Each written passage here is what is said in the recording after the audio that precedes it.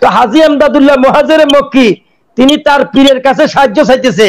তো মোহ নূরে মোহাম্মদ খাস মাহবুবে খোদা, তিনি তার পীরকে সম্বোধন করতেছে, হে আমার পীর নূর মোহাম্মদ, আপনি আল্লাহর একজন খাস মাহবুব।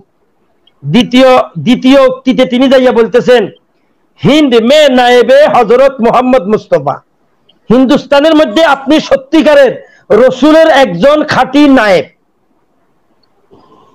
কে বলতেছে, হাজি আমদাদুল্লাহ মহাজরে মক্কি তার পীরের কাছে সাহায্য চাইতেছে। তিনি দুই হাজার মাইল দূরে থানাবন থেকে সে তিনি আর মক্কা থেকে তিনি সাহায্য চাইতেছে, তার পীর হইল থানাবনের মধ্যে। তারপরে তিনি বলতেছেন, তুম হো মদত গারে মদত ফের এমদাদ আজেস খাউফ কেয়া।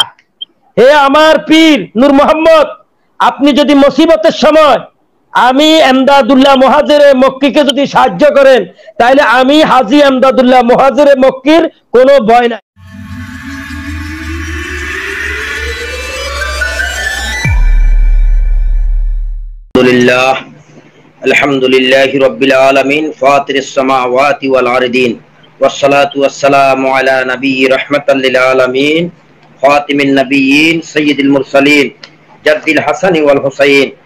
مولانا ومولى الثقلين محمد وعلى آله وأصحابه أماد الدين أما بعد الحمد لله দেশ এবং বিদেশে এবং যারা আজকে এস এম নাজির অনলাইন মিডিয়ার মাধ্যমে আমাদের আজকে এই অনুষ্ঠান দেখতে পাচ্ছেন প্রত্যেককে আমি আমার অন্তরের অন্তঃস্থল থেকে বিশেষ করে সুন্দর বিষয় নিয়ে আপনি উপস্থাপন করেছেন, আপনাকে অত্যন্ত ধন্যবাদ। আপনি আমাকে আগেই সারা দিয়েছিলেন। তা আমি কলম ধরেছি পরশুদিন রাত্রে থেকে যে আমাদের দেশে আসলে যে সমস্ত মাসলা মাসাইলগুলা নিয়ে সমস্যা না, সেগুলা নিয়ে কেউ কথা বলে না। আর যেগুলো ইমান এবং আকিদার বিষয়, সেটা নিয়ে যেটা আমার স্নেহের অত্যন্ত পানাদিক ছোট ভাই যে আলোচনা করেছেন, শামীম রেজা, অত্যন্ত সুন্দরভাবে তিনি উপস্থাপন করেছেন। আমি দোয়া করি আল্লাহ পাক তার এলেমের মধ্যে বরকত দান করুক এবং তাকে খিজিরি এলেম দান করুক আমিন। উনি সুন্দর যে দলিলগুলো দিয়েছেন এটা এর চেয়ে অকাট্য দলিল আর হইতে পারে না। এটা তো উনি হাদিস থেকে দিয়েছেন হাদিসের যারা বাপের দাদার দাদা তাদের কিতাবের মধ্যে এই হাদিসগুলো এনেছেন। যেমন মোসান্নবী আব্দুর রাজ্জাকের মধ্যে এই হাদিসগুলো আছে। আমার কাছে আছে আমি এটা স্টাডি করি আমি এটা লিখে আমি কম্পিউটার করছি। একমাত্র আজকের এখানে মিডিয়াতে বলার জন্য। মানুষ জানার জন্য এবং বুঝার জন্য। আমি হ্যাঁ মাশাআল্লাহ তো সবাইকে আসসালামু আলাইকুম ওয়া রাহমাতুল্লাহি বারাকাতু। বর্তমান সময়ে এটা আলোচিত একটি বিষয় যে আজকে যে বিষয়টা আনছে এটা আলোচিত একটি বিষয় যে কবর জিয়ারত। আমরা বিভিন্ন সামাজিক যোগাযোগ মাধ্যমে দেখি কিছু ফেসবুক মার্কা, কিছু মোল্লা ফেসবুক মার্কা। যাদের দুরন্ত ফেসবুক এখন আমাদেরকে আমাদেরকে বলতে পারে আমরা কি কোনো ফেসবুক না, আমরা ফেসবুকের মোহতাজ না। আমরা মিডিয়ার মোহতাজ না। কারণ এখন বর্তমান যে করোনা পরিস্থিতি বিশ্বের, এই পরিস্থিতিতে আমরা জনগণকে জানিয়ে দেওয়ার জন্য আমরা মাঠে ময়দানও আমরা আলোচনা করি এগুলা নিয়ে। এটা ইমানের অবিচ্ছেদ্য অংশ। প্রিয় নবী রহমতুল্লিল আলমী আজ থেকে পনেরোশো বছর আগে কি আদেশ, কি নিষেধ সেটা বলে দিয়ে গেছেন। যেটা আল্লাহর কোরআনে আছে, ওয়ামা আতাকুমুর রসুল আমার রসুল যা কিছু তোমাদের কাছে নিয়ে আসছেন।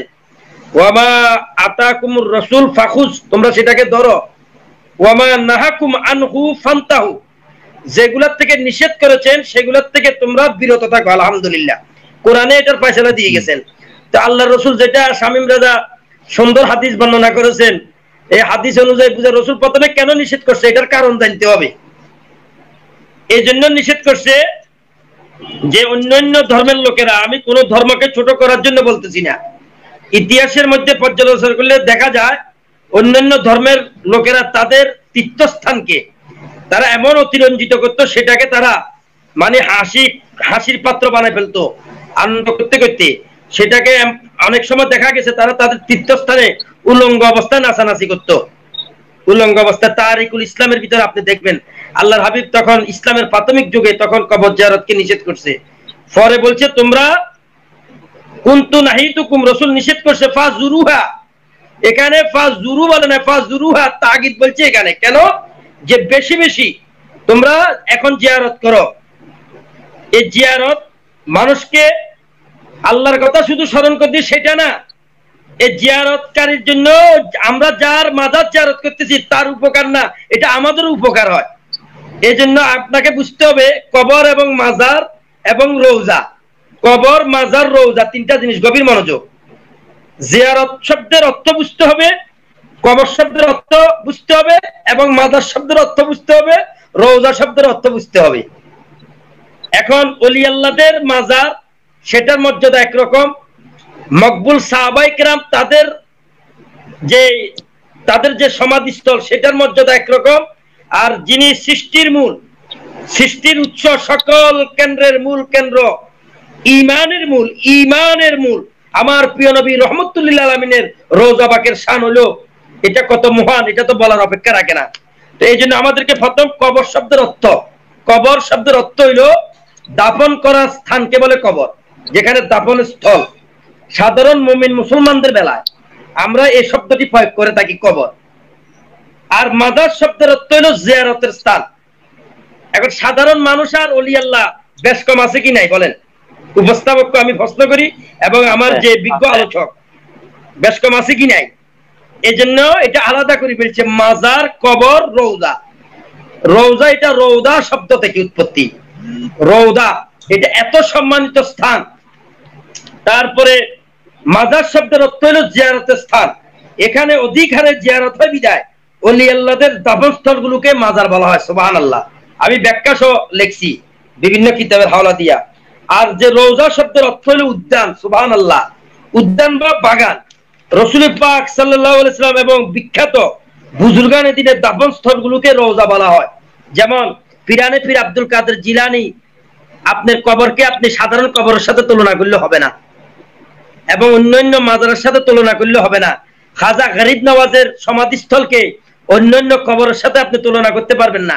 খাজা বাহুদ্দিন নকশবন্দি বুখারি রহমতুল্লাহ সমাধিস্থলকে আপনি অন্যান্য কবর বা মাজারের সাথে তুলনা করলে হবে না।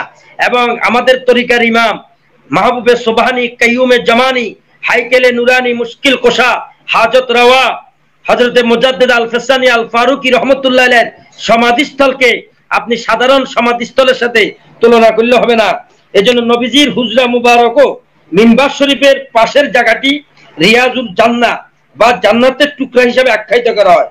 কবর জিয়ারত স্বয়ং নবী করিম সাল্লাম এবং সম্মানিত সাহাবিগণ। আমার হাবিব যখন এ ওহুদের শহীদানদের কবরে আমার প্রিয় নবী রহমতুল্লাহ আলমিন উহুদের শহীদানদের কবরে প্রত্যেক বছর তিনি বৎসরের প্রথম দিকে তিনি উহুদের শহীদানদের কবরে যাইতেন। কবরে যাইয়া তিনি কি বলতেন? আসসালামু আলাইকুম বিমা সাবারতুম ফানিমা উকবাদ্দার বলেন, সুবহানাল্লাহ। মানে তাদের এই ওহুদের যে সমাধিস্থলে আল্লাহর হাবিব যখন যাইতেন, তখন তিনি বলতেন, আপনাদের উপর সালাম এবং আপনারা আপনাদের ধৈর্যের ফলস্বরূপ আখেরাতে কি চমৎকার জায়গায় না পেয়েছেন সুবাহান আল্লাহ মানে আল্লাহর হাবিব সাহাবিগন্ধের মর্যাদা এবং সাহাবিগন্ধের সমাধিস্থলকে এমন মর্যাদা দিয়েছেন যে অন্যান্য কবরস্থানে গেলে, জিয়ারত করতে গেলে আমরা বলি, আসসালামু আলাইকুম, ইয়া হালাল কুবুর। আর আমার নবী যখন সাহাবাই কেরামের সমাধিস্থলে যাইতেন, তখন তিনি বলতেন, আসসালামু আলাইকুম, বিমা সাবারতুম কতই না ধৈর্যশীল আপনারা, যে আল্লাহ পাক আপনাদের দ্বারকে উঁচু করে দিয়েছেন। মাকামকে উঁচু করে দিয়েছেন। আপনারা আল্লাহ পাকের এমন নিয়াপদ প্রাপ্ত হয়েছেন। আল্লাহর নবীর জবান মুবারকের কথা সুবাহান আল্লাহ আমদি সুবাহান আল্লাহ আজিম আল্লাহর হাবিব যে কথাগুলি তার নুরানির জবান দিয়ে বলেছেন সেগুলা সত্য না মিথ্যা বলেন? আমার নবীর কথা কি সত্য না? আমার নবীর কথা কথার প্রতি যদি কেউ সামান্য পরিমাণ সন্দেহ করে তার ইমান থাকবে না। এগুলো ইমানের অবিচ্ছেদ্য অংশ। তাই আল্লাহর হাবিব এই যে আমি হাদিসটা বললাম এই যে দলিলটা বললাম যে, আসসালামু আলাইকুম বিমা সাবারতুম ফানিমা উকবাদ্দার। উপস্থাপক আপনি কোট করেন যে, ইব্রাহিম মোহাম্মদ। বর্ণনা করেন, রসুল পাক সাল্লাহ সাল্লাম বছরের প্রারম্ভে উহুদের যুদ্ধে শহীদদের সমাধিস্থলে যাইয়া এই, এইগুলা বলতেন। এবং এই হাদিসটা হয়তো আবু বক্কর সিদ্দিক এবং উমর রাদিয়াল্লাহু তাআলা ঠিক একই ভাবে ওই উহুদের শহীদের সমাধিস্থলে যাইয়া এইভাবে তিনি সালাম দিয়া তাদের জিয়ারত করতেন। আসুন যে, আমার ভাই যে দলিলগুলা বলেছেন যে এই দলিলগুলা শুধু উনি ওনার নিজের মন গড়া বলে না, এটা সহি মুসলিমের প্রথম খণ্ড, দ্বিতীয় পৃষ্ঠার মধ্যে আছে, এবং দ্বিতীয় খণ্ডের তিনশো ষষট্টি নম্বর পৃষ্ঠার মধ্যে আছে কিতাবুল জানায়েজের হাদিস নম্বর একশো সাত, যেটা শামীম রাজা বর্ণনা করলেন। তারপরে আসে মুস্তাদারাকে হাকিমের মধ্যে এই হাদিসটা আছে।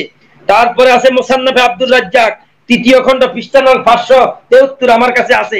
মোসান্নফে আব্দুর রাজ্জাক তৃতীয় খণ্ডের ভিতরে পরিষ্কার আছে।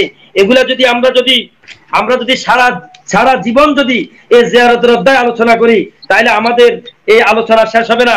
হযরত আয়েশা রাদিয়াল্লাহু তাআলা আনহু থেকে বর্ণিত হাদিস যে রাসূল পাক সাল্লাল্লাহু তাআলা সাল্লাম আপনার সবে রসুল পাক সাল্লাম শেষ রাত্রে রাত্রের তৃতীয় ভাগে তিনি জান্নাতুল বাকির কবরস্থানে গিয়ে এভাবে সালাম করতেন, আসসালামু আলা দারে কওমি সুবহানাল্লাহ বিহামদি, সুবহানাল্লাহিল আযীম। হযরত আয়েশা সিদ্দিকা, আমাদের উম্মাহাতুল সমস্ত মুমিনদের মা, তার থেকে আমার নবী ইরশাদ করেন, আসসালামু আলা দারে মুমিনিন। সহি মুসলিম দ্বিতীয় খণ্ড নম্বর তিনশো তেষট্টি, হাদিস নম্বর একশো দুই, কিতাবুল জানায়েস আরেকটা দলিল, তালা ইবনে ওবায়দুল্লাহ বলেছেন, আমরা রসুলের সাথে শহীদের কবর জারাতের উদ্দেশ্যে মদিনা শরীফ হতে বের হলাম। যখন আমরা হাররে ওয়াকিম নামক স্থানে বসলাম, কয়েকটি কবর লক্ষ্য করে, তাকে বললাম, হে আল্লাহ নবী, এগুলি কি আমাদের মুসলিম ব্রাতাদের কবর? তিনি বললেন, এই কবরগুলি আমার সাহাবিদের সুবহান আল্লাহ তাহলে বোঝা গেল, আমার নবী পাক সাল্লাহ সাল্লাম এলমে গায়েবের অধিকারী সুবহান আল্লাহ এই এলমে গায়েব নবীকে কে দান করছে? আল্লাহ। এগুলা নিয়েও এ আজকে যেটা শামীম রাজা বললেন যে, ওয়াহাবি খারেজি কমি এ লা মজাবিরা এ কবর জিয়ারত সম্পর্কে না করার জন্য মানুষকে উৎসাহিত করে, অথচ তারা দেখে অন্ধ। চোখ থাকিতে তারা অন্ধ। কেননা তাদের কোপাল হলো মন্দ। আল্লাহ তো তাদের কোপালে, চোখে, কানে আগে মোহর মারে দিয়েছে। কাজে তারা ইমানের এই বিষয়বস্তুগুলি তারা বুঝবে না। অথচ এই কবর জিয়ারতের দলিলের অভাব নাই। তালা ইবনে ওবায়দুল্লাহ বলছেন, আমরা রসুলের সাথে শহীদের কবর জিয়ারতের উদ্দেশ্যে মদিনা হতে বের হলাম, যখন আমরা হাররে ওয়াকিম এই হাররে ওয়াকিম মদিনা থেকে সাড়ে সাত কিলোমিটার দূরে একটা জায়গার নাম সুবাহান আল্লাহ কয়েকটি কবর লক্ষ্য করে বললাম হে আল্লাহ নবী এগুলি কি আমাদের মুসলিম ভ্রাতাদের কবর? তিনি বললেন এই কবরগুলি আমার সাহাবিদের। যখন আমরা শহীদদের কবরের নিকট বসলাম তিনি বললেন এই কবরগুলো আমাদের ভাইদের সুবহান আল্লাহ এবং তিনি তখন ওই ওটাই বলতেন আসসালামু আলাইকুম বিমা সাবারতুম ফানিমা কারণ সাহাবিদের মর্যাদা আর অন্যান্য মোমেনদের মর্যাদা এক না। সাহাবিদের মর্যাদা হলো অনেক উপরে, যারা রসুলের পাক সাল্লাহ সাল্লামের ফরেস্তান। যে সাহাবিকার নুজুম, তারা হলো আকাশের নক্ষত্রের মতো। যারা তাদেরকে অনুসরণ করবে, তারা হেদায়ত প্রাপ্ত হইবা। এই হাদিসটা সুনানে আবু দাউদ।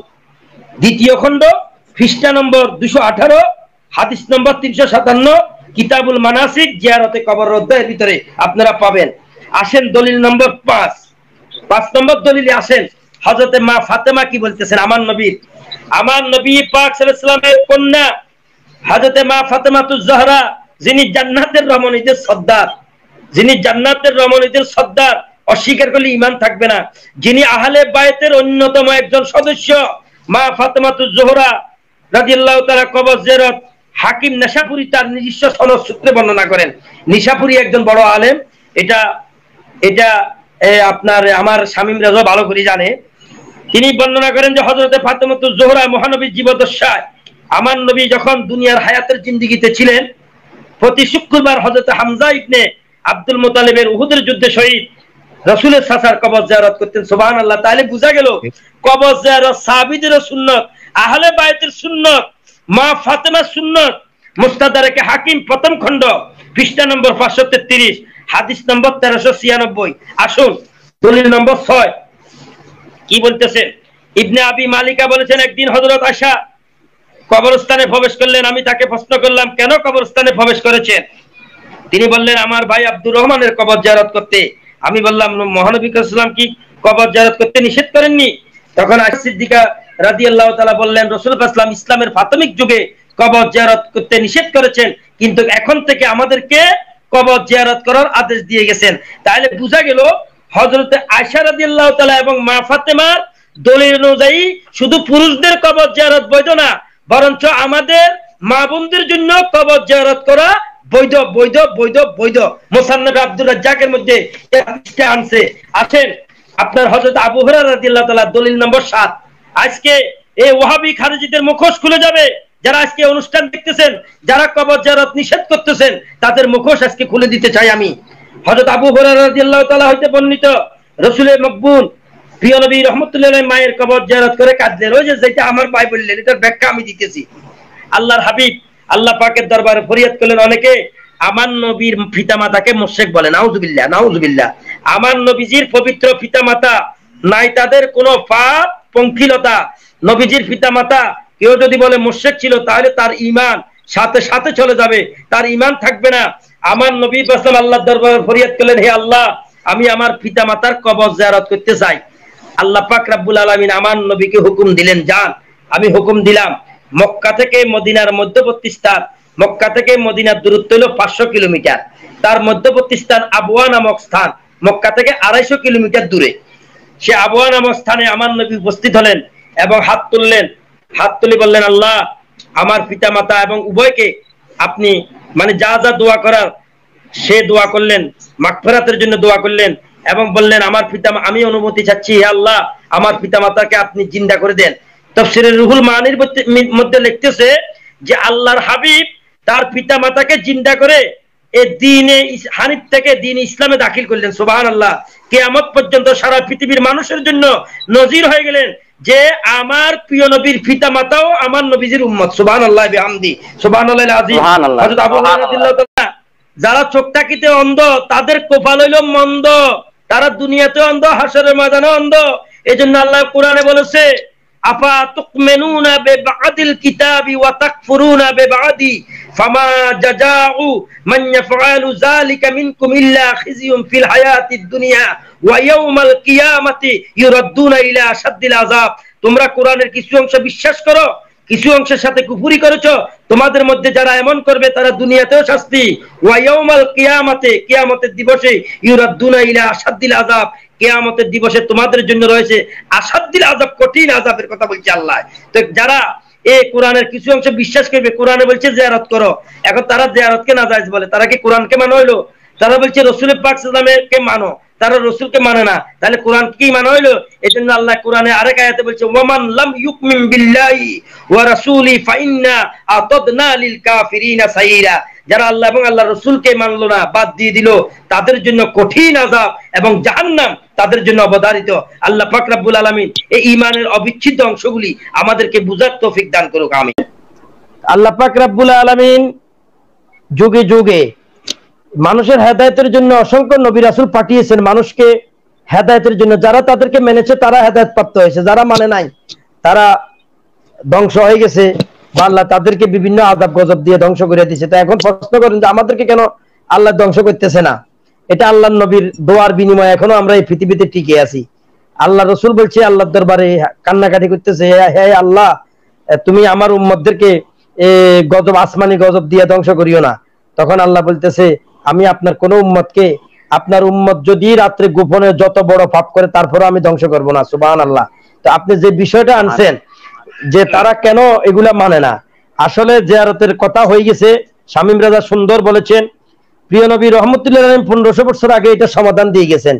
এখন যদি আমি বলি আল্লাহ রসুলের জিয়ারত, আল্লাহ রসুল বলছে, যে ব্যক্তি আমার এই মদিনা শরীফ সফর করার পরে যে ব্যক্তি আমার রোজা জেরাত করবে মানজারা কাবরি ওয়াজাবাত লাহু শাফাআতি, আমি নবী তার জন্য সুপারিশ করা কাল হাসরের ময়দানে ওয়াজিব হয়ে যাবে।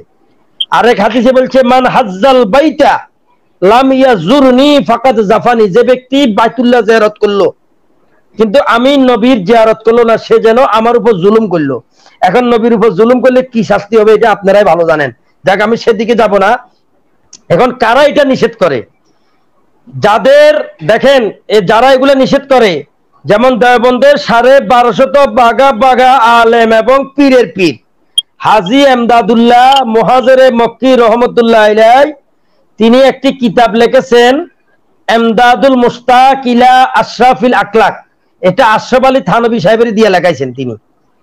তিনি ওই কিতাবের পাঁচষট্টি থেকে সত্তর পৃষ্ঠা পর্যন্ত তিনি বলতেছেন, তার পীরের নাম হইল নূর মোহাম্মদ জানজানবী নূর মোহাম্মদ জানজানবী আমরা যদি রসুলকে ইয়া রাসুল আল্লাহ বলি, ডাক দিই, ফতোয়া আসে।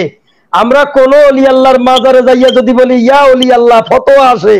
আর তাদের বেলায় তাদের পীরের পীরে যদি, তাদের পীরের কাছে যদি সরাসরি সাহায্য চায়, সেটার ব্যাপারে কোনো ফতোয়া আসে না। মিন গাইরিল্লাহ কেউ কেউ আল্লাহর মতো যদি, কেউ আল্লাহর মতো মনে করি যদি তাহলে সেটা শিরিক হবে। আল্লাহর সাথে কোনো কিছু শরিক নাই। আল্লাহ হইল লা শরিক। আর যারা আল্লাহর অলি আল্লাহর বন্ধু, তারা তো আপন আপন সমাধিস্থলে মাজারে, রোজায় তারা শুয়ে আছে ব্যস্তের বাগানে। তাদের উসিলা নিয়া আমরা আল্লাহ পাকের দরবারে ফরিয়াদ করি, এটা আমাদের রুহানি এবং জেসমানি শক্তি বৃদ্ধির জন্য। এটা আমাদের উপকারের জন্য। তো হাজি আমদাদুল্লাহ মহাজেরে মক্কি, তিনি তার পীরের কাছে সাহায্য চাইতেছে। তো মোহ নূরে মোহাম্মদ খাস মাহবুবে খোদা। তিনি তার পীরকে সম্বোধন করতেছে, হে আমার পীর নূর মোহাম্মদ, আপনি আল্লাহর একজন খাস মাহবুব। দ্বিতীয় দ্বিতীয় উক্তিতে তিনি যাইয়া বলতেছেন, হিন্দ মে নায়েবে হজরত মোহাম্মদ মুস্তফা। হিন্দুস্তানের মধ্যে আপনি সত্যিকারের রসুলের একজন খাঁটি নায়েব। কে বলতেছে, হাজি আমদাদুল্লাহ মহাজরে মক্কি তার পীরের কাছে সাহায্য চাইতেছে। তিনি দুই হাজার মাইল দূরে থানাবন থেকে, সে তিনি আর মক্কা থেকে তিনি সাহায্য চাইতেছে, তার পীর হইল থানাবনের মধ্যে। তারপরে তিনি বলতেছেন, তুম হো মদত গারে মদত ফের এমদাদ আজেস কো খাউফ কেয়া। হে আমার পীর নূর মোহাম্মদ, আপনি যদি মুসিবতের সময় আমি এমদাদুল্লাহ মহাজেরে মক্কিকে যদি সাহায্য করেন তাহলে আমি হাজি এমদাদুল্লাহ মহাজেরে মক্কির কোনো ভয় নাই। এসকো কি ফারসান কি বাতিহি কাঁপতে হে দস্তফা। হাসরের ময়দানে যখন আমি ভয়ে যখন কাঁপতে থাকব আয় শাহে নূরে মুহাম্মদ, ওয়াক্তুহা এমদাদেকা ওই মুহূর্তে যদি আপনি আমাকে সাহায্য করেন, আমার পীর হইয়া, আমার মুর্শিদ হইয়া, তাহলে আমি হাজি আমদাদুল্লাহ, মহাজের মক্কি, আর কোনো পেরেশানি থাকবে না, কোনো পেরেশানি থাকবে না। দেখেন, তাদের চোদ্দ গোষ্ঠীর পীর। হাজি আমদাদুল্লাহ মহাজের মক্কি পীরের মাজারের দিকে লক্ষ্য করিয়া তিনি সাহায্য চাইতেছে, সেটা শিরিক হয় না। আর আমরা আমাদের মুর্শিদকে, আমাদের প্রিয় নবীকে, আহলে বাইতকে যদি আমরা ডাক দিই, সেটা সেটা সেটা আমাদের জন্য শিরিক হয়ে যায়। আশরাফ আলী থানবী সাহেব বলতেছেন, তার নসিব টিভির ভিতরে তিনি বলতেছেন যে রসুল পাক সাল্লাহ সাল্লামের কাছে তিনি সাহায্য চাইতেছেন, রসুল পাকলামের সে রোজা মুবারককে ধ্যান করে তিনি সাহায্য চাইতেছেন, ইয়া মোহাম্মদ মুস্তফা ফরিয়া দোহায় আয় হাবিবে কিবরিয়া ফরিয়া দোহায় সখতে মুশকিল মে পড়া হো আজ কাল আয় মেরে মুশকিল কোষা ফরিয়া দোহায় তো হাসব আলী থানবী সাহেব নবীর কাছে ফরিয়াদ করতেছে, সাহায্য চাইতেছে। আর আমরা আহলে সুন্নত ওয়াল জামাতের আকীদাপন্থী লোকেরা যদি প্রিয় নবীর কবর জিয়ারত করে, যদি জায়েজ বলি, তারা বলে শিরিক। ওলি আল্লাহর মাজারে যাওয়া, তারা বলে শিরিক। আসলে তাদের সুলকানি আছে, তাদের সুলকানি তখন যাবে যখন আমরা সমস্ত সুন্নি ওলামাই কেরাম একে প্যান্ডেলে এসে তাদের বিরুদ্ধে যতদিন পর্যন্ত আমরা প্রতিবাদ করতে পারব না, ততদিন তারা মাথা ছাড়া দিয়ে উঠবে। যেমন শামীম রাজা বলেছেন যে, পাঁচ থেকে ছয় বছর আগে তারা বেশি উৎপাদ করতেছে। আসলে সত্যি বলেছেন তিনি। আসলে কোরআন হাদিসে নাই কি? সব কিছু সমাধান কোরআন হাদিস। হজরত আব্দুল্লাহ ইবনে মাসুদ রাদিয়াল্লাহু তাআলা আনহু বলতেছেন আমার একটা উটের রশি যদি যুদ্ধের ময়দানে হারিয়ে যায়, সেটা আমি কোরআনের মধ্যে তালাশ করলে পেয়ে যাই। কোন জায়গায় আছে? সুবাহান আল্লাহ কোরআন, হাদিস, এজমা, কেয়াস এবং আউলিয়া কেরামের মতার পথে আমরা আসি। কেয়ামত পর্যন্ত আমরা থাকব। একদল বিরোধী থাকবে। আল্লাহ বলছে, ওয়াকুল জাল হাক, ওয়া জাহাকাল বাতেল। বাতিল থাকবে। বাতেলের বিরুদ্ধে একটা শক্তি থাকবে, হক। হকের দ্বারা, হকের সিলসিলা কেয়ামত পর্যন্ত জারি থাকবে। এই জন্য বলছে, এই হকের সিলসিলার উপর থাকতে হলে আল্লাহর অলিদের সান্নিধ্য গ্রহণ করা বর্তমান সময়ের জন্য আমি মনে করি ফরজ। তাই আমার মসজিদ শিক্ষাতে আদব, বুদ্ধি, মহব্বত, সাহস, বিশ্বাস, ভক্তি নিয়ে আপনাদেরকে এগিয়ে যেতে হবে। তাহলে দেখবেন কেউ আপনাদেরকে মিসগাইড করতে পারবে না। আমরা আহলে সুন্নতল জামাতের আকিদা এবং বিশ্বাস, প্রিয় নবী রহমতুল্লাহ আলমিন, মকবুল সাহাবাই কেরাম, আহলে বায়েত আউলিয়া কেরামের মাজার এবং এবং তাদের সমাধিস্থল আমাদের মোমেন মুসলমানের জন্য হইল ইমানের একটা অনুভূতি এবং আমাদের জন্য একটা তীর্থস্থান। সুবাহ আল্লাহ বিহামদি সুবাহ আল্লাহ আজিম আল্লাহ পাক আমাদেরকে ওই সমস্ত বাতিল ফেরকা থেকে হেফাজত করুক আমিন। মান তারাকা সুন্নাতান মুতাআম্মিদান ফাকাত কাফারা। এটা ইমামে আজম আবু হানিফা রহমতুল্লাহ বলছে রসুল ইসলামের একটা আদনা সুন্নতকে আপনি অ্যাঙ্কার করতে পারবেন না। রসুলের একটা আদনা সুন্নত একটা আদনা সুন্নত যে মেসাও আপনি করেন না, সেটা হলো আপনার আমল। কিন্তু আপনি অ্যাঙ্কার করতে পারবেন না। অস্বীকার করতে পারবেন না। করা এক জিনিস, অস্বীকার করা আরেক জিনিস। আপনি একটা কাজ সুন্নত আপনি করবেন না, এটার দ্বারা আপনি কাফের হবেন না। কিন্তু আপনি এটাকে অ্যাঙ্কার করবেন, সাথে সাথে আপনি কাফের হয়ে যাবেন। কেননা আপনি রসুল পাক সাল্লামের সাথে সম্পর্কিত একটা জিনিসকে অস্বীকার করলেন।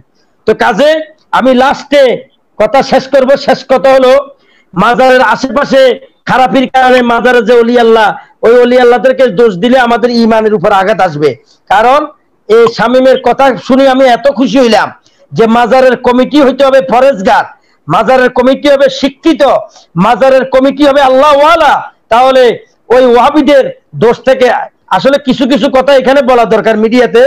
তাদের কিছু অপকর্মের কারণে আজকে এই দোষটা আমাদের উপর চাপাচ্ছে। কাজে মাজারের যারা কমিটি হবে। হ্যাঁ বলতে হবে।